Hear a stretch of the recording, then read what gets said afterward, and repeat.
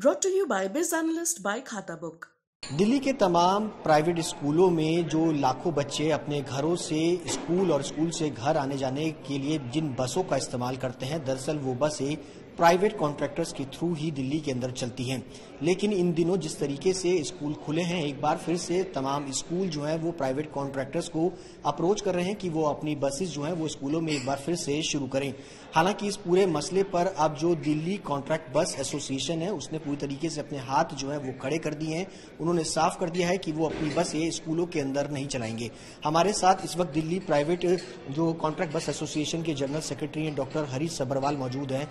Sir आपने तो फैसला कहा कि भी है कि जिस तरीके से अब स्कूलों के अंदर बसेस नहीं चलाएँगे, क्या कारण है जिसके कारण बसेस नहीं चलाएँगे? नहीं नहीं चलाएँगे, एक बात है, और चला पाएँगे ही नहीं, वो दूसरी बात है, हमारी मजबूरी है, हम कैसे बसें चला सकते हैं? दो साल से हमारी बसें खड़ी बर्बाद हो रही हैं, जर्जर हो रही हैं उनके टायर सूख गए, रबर पार्ट सारे चेंज होने हैं इंश्योरेंस खत्म होगी, परमिट उठाना है, इंश्योरेंस, फिटनेस, सब पे पेनल्टियाँ भरनी है, हर एक बस को आज तकरीबन ढाई से तीन लाख रुपए चाहिए। हमने सरकार से और स्कूलों से गुजारिश की है कि प्रति बस हमें आप तीन लाख का एक सॉफ्ट लोन दीजिए। आपने हमारी आपदा में भी कोई मदद नहीं करी। आपने पल्ला झाड़ दिया हमसे, जबकि हमारे ड्राइवर भूखे मरते रहे, हमारी बसें खड़ी रही। हमने अनुबंध के तहत आपके साथ बसें लगाई थी और कई कई स्कूलों तो पाँच पाँच साल तीन तीन साल दस दस साल तक का अनुबंध किया और एकदम से पल्ला झाड़ दिया कि अब बसें हमने चलानी नहीं आप जहाँ मर्ज़ी ले जाइए, जहाँ मर्ज़ी खड़ी कीजिए। जो बसें हमारे घर पे खड़ी रही हम बेरोजगार हो गए। वो बसें बेकाम हो गई। लेकिन उसकी भी पार्किंग हमसे सरकार वसूल कर रही है। हमें तो सरकार का ये सौतेला व्यवहार समझ में ही नहीं आया। सरकार ने पाँच हज़ार रुपया प्रति ड्राइवर ऑटो टैक्सी को दिया। हमारी बस वाले जो उनके कारगिल के लिए बसें ले जाते रहे, हमारे बस के ड्राइवर उनको ऑडिवन में बसें चलाते रहे। अभी भी आप देख लो दिल्ली की सड़कों पर पर्यावरण में हमारी बसें चल रही हैं।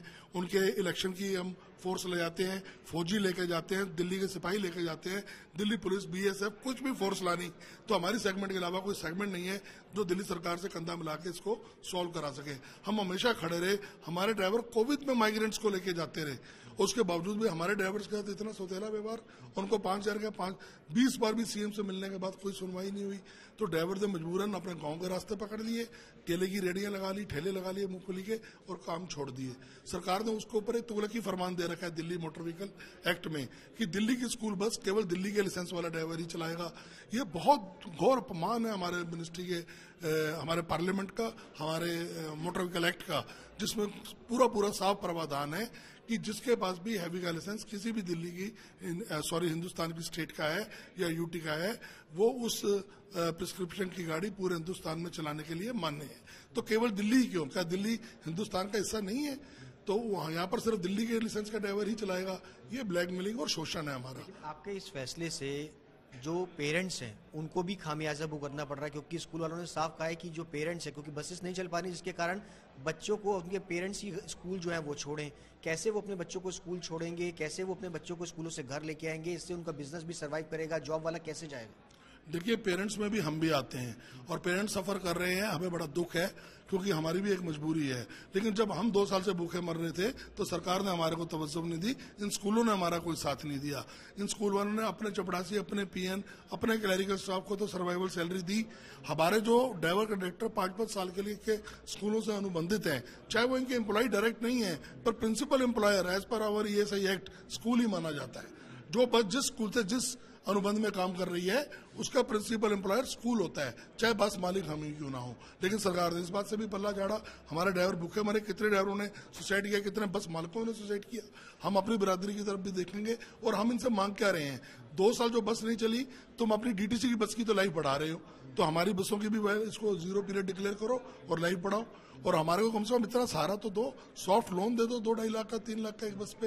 एक बच्चे को स्कूल ले जाने का कितना चार्ज जो है वो लिया जाता है? देखिए ये तो स्कूल का धंधा है। इसका तो पर्दा ना ही उठवाते तो अच्छा था। हर बच्चे से आज स्कूल दो से तीन हज़ार लेता है, बल्कि एक स्कूल का फरमान मैं अभी आपसे लिंक शेयर करता हूँ। वो पाँच हज़ार रुपया प्रति बच्चा मांग रहा है, चाहे अगर बच्चे को खुद छोड़ जाओ, चाहे और माना हुआ स्कूल है दिल्ली का। टॉप क्लास का कॉन्वेंट स्कूल है मैं आपको लिंक अभी शेयर कर देता हूँ। मैं नाम नहीं लेना चाहूँगा पाँच हज़ार रुपए मांग रहा है। पिछले वर्षों में दो से तीन हज़ार रुपए लेते थे और हर बस में सुप्रीम कोर्ट के आदेश के अनुसार सत्तर से पचहत्तर बच्चे अलाउड थे। ये दो से ढाई लाख रुपए एक बस की कलेक्शन करते हैं और पचास से साठ हज़ार रुपए केवल बस वाले को देते हैं। तो आपको पचास हज़ार रुपए महीना मिलता है? बिल्कुल तो साठ हज़ार से ज़्यादा तो किसी को नहीं मिलता आप ऑडिट करा लीजिए। और हर बस में से प्रति माह प्रति बस डेढ़ से दो लाख स्कूलों ने कमाया और बिल्डिंगें बनाई हैं। और हमारे पैसे से जो मुनाफा हुआ उसमें ये हिस्सेदार हैं। जब घाटे का वक्त आया तो हमें अकेला छोड़ दिया। हमारे स्कूलों से ये गुजारिश है। दूसरा, ऐसे स्कूल भी हैं 95 परसेंट जिन्होंने जब ये आपदा आई, कोविड आया तो एडवांस में फ़ीस ले रखी थी। आपको याद होगा आपके बच्चे भी स्कूलों में पढ़ते हैं। जनवरी फरवरी मार्च का क्वार्टर इन्होंने एडवांस में लिया था और फरवरी मिड के बाद ये प्रॉब्लम शुरू हुई। तो इन्होंने मार्च के पैसे ना तो स्कूल के बस वालों को दिए और ज़्यादा ही शराफत थी। तो इन पैसों पर स्कूल का क्या हक है हम पूछते हैं। ये बच्चों को वापस करते पैसे। इन्होंने बच्चों को भी पैसा वापस नहीं किया स्कूल वालों को भी नहीं दिया और खुद पैसा दबा के बैठे हैं। तो ऐसे स्कूलों के विरोध तो हम पुरजोर आवाज़ उठाएँगे। आखिरी मांग क्या है? बाकी राज्यों में भी क्या जिस तरीके से हुआ है क्या वो भी हो? देखिए महाराष्ट्र में बॉम्बे में एसओपी बना है। मध्यस्थता करी है सरकार ने। गुजरात में बनाए राजस्थान में बना है। हम ऐसे ही सरकार से गुजारिश करते हैं कि वोट बैंक की नीति दिमाग से निकालें। हम बहुत ही नोबल कॉज का काम है, स्कूल बच्चों को ले जाना।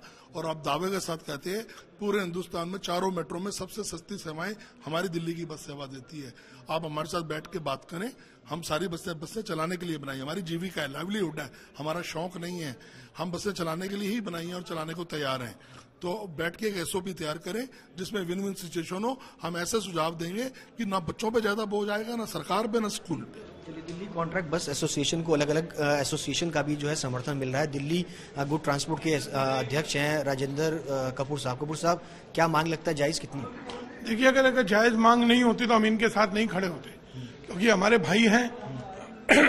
और पूरी तरह से हम इनके साथ हैं। इनके साथ बहुत ज़्यादा बुरा हो रहा है।